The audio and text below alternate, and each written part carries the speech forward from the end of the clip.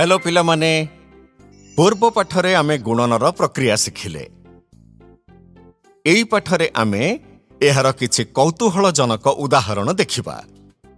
ସବୁ ଲୋକ ମେଳାକୁ ବୁଲିବାକୁ ଯାଇଛନ୍ତି। ମେଳାରେ ଅନେକ ପ୍ରକାରର ସୁନ୍ଦର ମନୋରଞ୍ଜନ ଅଛି। ମେଳାରେ ଏପରି ଗୋଟିଏ ବିଶାଳ ଝୁଲା ଅଛି। ଏହି ଝୁଲାରେ ଗୋଟିଏ ଥରରେ ବାଇଶ ଜଣ ଲୋକ ବସିପାରିବେ। ଝୁଲା ଦିନସାରା ବାର ଥର ଚାଲେ। ରାଜୁ ଏବଂ ବବଲୁ ଝୁଲାକୁ ଦେଖନ୍ତି।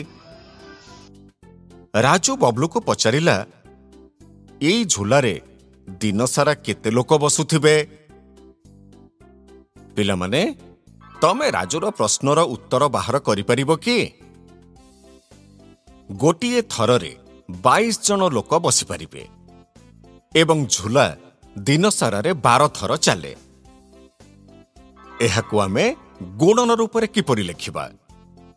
ବାର ଗୁଣନ ବାଇଶ।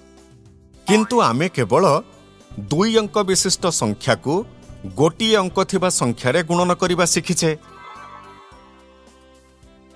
ତେବେ ବର୍ତ୍ତମାନ ଆମେ ଏହାକୁ କିପରି କରିବା? ଆସ ଆମେ ଦୁଇ ଅଙ୍କ ବିଶିଷ୍ଟ ସଂଖ୍ୟାର ଗୁଣନ ଶିଖିବା। ଯଦି ଆମେ ବାରକୁ ଭାଙ୍ଗିବା ତେବେ କ'ଣ ମିଳିବ? ଦଶ ଏବଂ ଦୁଇ। ଏହାକୁ ଆମେ ଏପରି ଲେଖିବା। ଏବଂ ବର୍ତ୍ତମାନ ଯଦି ବାଇଶକୁ ଭାଙ୍ଗିବା ତେବେ କେତେ ହେବ? କୋଡ଼ିଏ ଏବଂ ଦୁଇ। ଏହାକୁ ଆମେ ଏପରି ଲେଖିବା।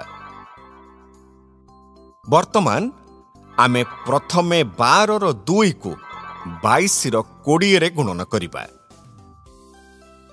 କୋଡ଼ିଏ ଗୁଣନ ଦୁଇ ହେଲା ଚାଳିଶ। ଏହି ଉତ୍ତରକୁ ଆମେ ଏଠାରେ ଲେଖିବା।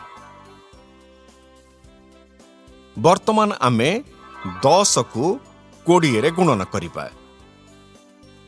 କୋଡ଼ିଏ ଗୁଣନ ଦଶ ହେଲା ଦୁଇଶହ। ଏହି ଉତ୍ତରକୁ ଆମେ ଏଠାରେ ଲେଖିବା। ବର୍ତ୍ତମାନ ଆମେ ବାଇଶର ଦୁଇକୁ ବାରର ଦୁଇରେ ଗୁଣନ କରିବା। ଏହା ଦୁଇ ଗୁଣନ ଦୁଇ ହେଲା ଚାରି। ଶେଷରେ ବାଇଶର ଦୁଇକୁ ବାରର ଦଶରେ ଗୁଣନ କରିବା ତେବେ ଆମକୁ ମିଳିବ କୋଡ଼ିଏ। ବର୍ତ୍ତମାନ ଏହା ପୁରା ସହଜ ଅଟେ। ଦୁଇଶହ ଚାଳିଶ କୋଡ଼ିଏ ଏବଂ ଚାରିକୁ ମିଶାଇ ଆମର ଉତ୍ତର ହେଇଗଲା ଦୁଇଶହ ଚଉଷଠି। ଏପରି ଆମକୁ ଆମର ଉତ୍ତର ବାର ଗୁଣନ ବାଇଶ ହେଲା ଦୁଇଶହ ଚଉଷଠି ମିଳିଗଲା। ଝୁଲାରେ ଦିନସାରା ମୋଟ ଦୁଇଶହ ଚଉଷଠି ଜଣ ଲୋକ ବସନ୍ତି। ବର୍ତ୍ତମାନ ରାଜୁ ଏବଂ ବବଲୁ ମେଳାରେ ବୁଲି ବୁଲି ବେଲୁନ ଫଟାଇବା ଷ୍ଟଲରେ ଆସି ପହଞ୍ଚିଲେ। ବବଲୁ ରାଜୁକୁ ପଚାରିଲା ଯେ ସେମାନେ ସବୁ ସାଙ୍ଗମାନଙ୍କ ପାଇଁ ବେଲୁନ ଫଟାଇବା ଟିକେଟ କିଣିବେ କି? ବବଲୁ ଏବଂ ରାଜୁ ସେମାନଙ୍କର ସବୁ ସାଙ୍ଗଙ୍କର ଗଣନା କଲେ। ସେ ଦୁଇଜଣ ଗଣନାରେ ମୋଟ ସତର ଜଣ ଲୋକ ଥିଲେ। ବେଲୁନ ଫଟାଇବାର ଟିକେଟର ମୂଲ୍ୟ ପନ୍ଦର ଟଙ୍କା ପ୍ରତି ଟିକେଟ ଅଟେ। ବବଲୁ ଏବଂ ରାଜୁ ଏହା ଜାଣିପାରିଲେ ନାହିଁ ଯେ ସେମାନଙ୍କୁ ନିଜର ସବୁ ଟିକେଟ କ୍ରୟ କରିବା ପାଇଁ ମୋଟ କେତେ ପଇସା ଦେବାକୁ ପଡ଼ିବ। ଆସ ପିଲାମାନେ ଆମେ ରାଜୁ ଏବଂ ବବଲୁକୁ ପୁଣି ଆଉ ଥରେ ସାହାଯ୍ୟ କରିବା। ଏଥର ଏହି ଗୁଣନକୁ ଆମେ ଗୋଟିଏ ନୂଆ ପ୍ରକ୍ରିୟାରେ କରିବା ଶିଖିବା। ପ୍ରଥମେ ଆମେ ଗୁଣନକୁ ଏପରି ଲେଖିବା। ବର୍ତ୍ତମାନ ଆମେ ପନ୍ଦରର ପାଞ୍ଚକୁ ସତରର ସାତରେ ଗୁଣନ କରିବା। ଏହା ହୋଇଗଲା ପଇଁତିରିଶ। ଆମେ ପଇଁତିରିଶର ଦୁଇ ଅଙ୍କକୁ ଏକ ଅଙ୍କ ବିଶିଷ୍ଟ ସଂଖ୍ୟାରେ ଲେଖିପାରିବା କି? ନା।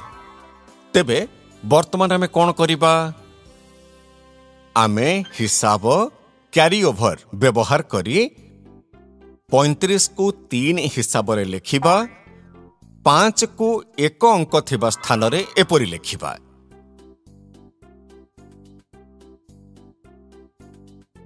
ବର୍ତ୍ତମାନ ଆମେ ସତରର ଏକକୁ ପନ୍ଦରର ପାଞ୍ଚରେ ଗୁଣନ କରିବା। ଏହା ହୋଇଗଲା ପାଞ୍ଚ। କିନ୍ତୁ ଆମ ପାଖରେ ହିସାବର ତିନି ମଧ୍ୟ ଅଛି। ତେବେ ବର୍ତ୍ତମାନ ଆମେ କ'ଣ କରିବା? ଆମେ ହିସାବର ତିନି ଏବଂ ଗୁଣନର ଉତ୍ତର ପାଞ୍ଚକୁ ମିଶାଇବା। ଏହା ହୋଇଗଲା ଆଠ। ଏହାକୁ ଆମେ ଏପରି ଲେଖିବା। ଏବଂ ହିସାବର ତିନିକୁ କାଟିଦେବା। କାରଣ ଆମେ ତାକୁ ପୁଣି ଗଣିବା ଭୁଲ କରିବା ନାହିଁ। ବର୍ତ୍ତମାନ ଆମେ ପନ୍ଦରର ଏକକୁ ସତରର ଅଙ୍କଗୁଡ଼ିକୁ ଡାହାଣରୁ ବାମକୁ ଗୁଣନ କରିବା। ଏହାକୁ ଆମେ ଅନ୍ୟ ଧାଡ଼ିରେ ଲେଖିବା। ଗୁଣନ ଆରମ୍ଭ କରିବା ପୂର୍ବରୁ ଆମେ ଏକ ଅଙ୍କ ଥିବା ସ୍ଥାନରେ ଏପରି ଗୋଟିଏ ଶୂନ ଲେଖିବା।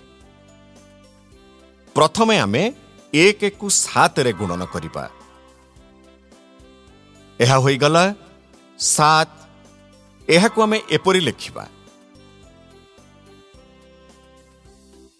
ବର୍ତ୍ତମାନ ଶେଷରେ ଏକକୁ ଏକରେ ଗୁଣନ କରି ହୋଇଗଲା ଏକ ଏହାକୁ ଆମେ ଏପରି ଲେଖିବା ବର୍ତ୍ତମାନ ଏହା ପୁରା ସହଜ ଅଟେ ପଞ୍ଚାଅଶୀରେ ଶହେ ସତୁରି ମିଶାଇବା ତେବେ ହୋଇଗଲା ଦୁଇଶହ ପଞ୍ଚାବନ ଏପରି ଆମେ ଆମର ଉତ୍ତର ସତର ଗୁଣନ ପନ୍ଦର ହେଲା ଦୁଇଶହ ପଞ୍ଚାବନ ମିଳିଗଲା ରାଜୁ ଏବଂ ବବ୍ଲୁକୁ ମୋଟ ଦୁଇଶହ ପଞ୍ଚାବନ ଟଙ୍କା ଦେବାକୁ ହେବ। ରାଜୁ ବବ୍ଲୁ ଏବଂ ସେମାନଙ୍କ ସାଙ୍ଗମାନେ ଖୁବ୍ ମଜା କଲେ। ପିଲାମାନେ ଏହି ପାଠରେ ଆମେ ଗୁଣନର ପ୍ରକ୍ରିୟାର କିଛି ଆକର୍ଷଣୀୟ ଉଦାହରଣ ଦେଖିଲେ। ପରବର୍ତ୍ତୀ ଭିଡ଼ିଓରେ ଆମେ କିଛି ସାମାନ୍ୟ ଭୁଲ ଗୁଡ଼ିକୁ ଦେଖିବା।